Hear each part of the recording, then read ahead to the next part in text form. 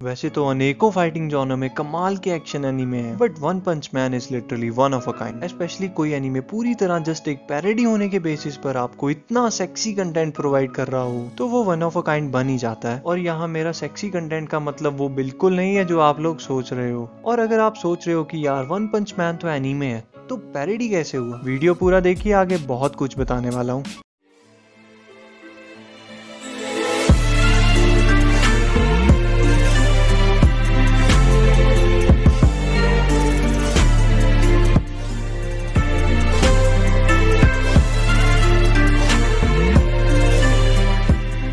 कभी कभी यार दुनिया में कुछ चीज़ें इतनी परफेक्ट बन जाती हैं कि उनको रिक्रिएट किया ही नहीं जा सकता। जैसे डोनाल्ड ट्रंप की शक्ल। कुछ भी! कुछ भी! और वन पंच मैन सबसे पहले तो यार मुझे ऐसा लगा कि वन पंच मैन कोई बेकार सा सुपर हीरो एनिमे होगा, जिसकी स्टोरी में कोई दम नहीं। बट आफ्टर वॉचिंग इट मेरी दुनिया ही बदल गई। Literally one punch man is way too different in comparison to other animes और अब वन पंच मैन उन एनिमेज में से एक है जो मेरे दिल के बहुत करीब है। अब देखो, मेरी तरह काफ़ी लोगों ने बिना देखे इस शो को पहले से ही जज कर लिया होगा कि यार ये तो एक बेकार शो है। बट सबसे बड़ी बात, बिना शो को देखे कभी जज मत करो कि वो ठीक है या नहीं। स्पेशली स्पेशली अगर उस शो की आई रेटिंग 8.8 आउट ऑफ़ 10 हो एंड शो देखने के बाद भी उसे जज करना है तो उसे उस पर्पस के बेसिस पर जज करो, जो पर्पस वो शो सर्व कर रहा है। क्योंकि मेरे ख्याल से हमें शो में उसी चीज़ पर ध्यान देना चाहिए, जो वो हमें दिखाना चाहता है। और वन पंच मैन के मामले में वो चीज़ है एग्जीक्यूशन अगर आपने पहले से प्री डिटरमाइंड कर लिया है खुद को कि आप ये शो नहीं देखने वाले हो तो सच में आप बहुत बड़ी गलती कर रहे हो। क्योंकि इस पूरे यूनिवर्स में आपको कोई भी क्लियरली नहीं एक्सप्लेन कर सकता कि यार इस शो का एग्जीक्यूशन लेवल क्या है। Mad house is one of those anime studios जो सिर्फ़ अपने काम की वजह से जाने जाते हैं। बट इवन मैड हाउस के बाकी एनिमे से कंपेयर करें तो वन पंच मैन की एनिमेशन लिटरली ओवर है। सच कहूँ तो मैड हाउस स्टूडियो ने जी जान से मेहनत की थी वन पंच मैन पर। एंड मेहनत का फल तो मीठा ही होता है। और ये मीठा नहीं, ये वाला। और देखते ही देखते वन पंच मैन 2015 का बिगेस्ट एनीमे बन गया। किसी ने नहीं सोचा था कि वन पंच मैन इतने कम समय में इतना ज़्यादा पॉपुलर हो जाएगा।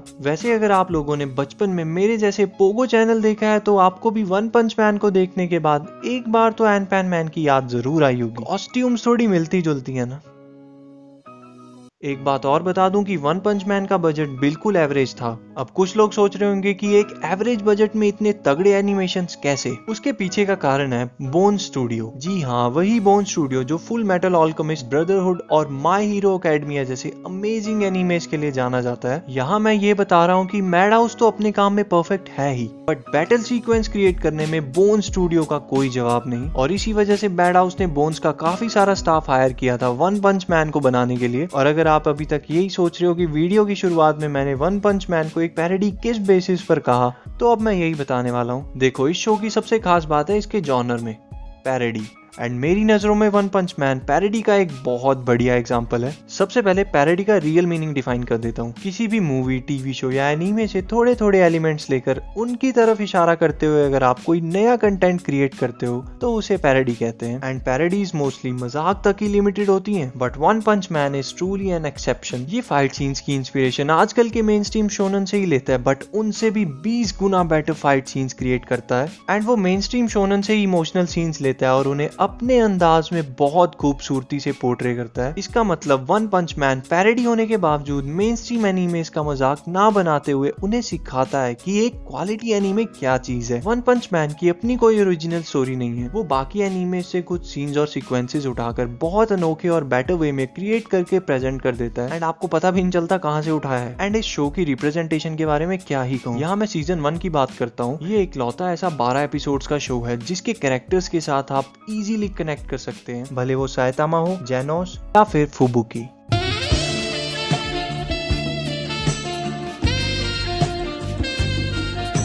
एंड म्यूज़िक तो इस एनीमे का अमेजिंग अब बात कर लेते हैं वन पंच मैन के सेकंड सीज़न के बारे में। एंड सच कहूँ, जब सेकेंड सीज़न आने वाला था, तब बहुत से फैंस चिंता में आ गए थे कि यार, कहीं ये शो स्पॉइल ना हो जाए। क्योंकि मैड हाउस ने वन पंच मैन पर काम करने से मना कर दिया था और अब सेकेंड सीज़न जेसी स्टाफ बनाने वाला था। बट सब कुछ स्मूथ रहा। मेरे हिसाब से तो सीज़न टू के भी 12 के बारह एपिसोड कमाल थे। एंड अब सीज़न थ्री का जिम्मा भी जेसी स्टाफ ने ही लिया है। और मे बी हमें 2022 के मिड तक सीज़न थ्री भी मिल ही जाएगा। तो यारो, आज की वीडियो में बस इतना ही। एंड वन पंच मैन काफ़ी अच्छा बिगिनर एनीमे है। आई टोटली रिकमेंड रिकमेंडेड और अगर आप आगे इसी तरह के रिकमेंडेशन और रिव्यूज़ देखते रहना चाहते हो तो चैनल को सब्सक्राइब करना मत भूलना। मिलते हैं अगली वीडियो में।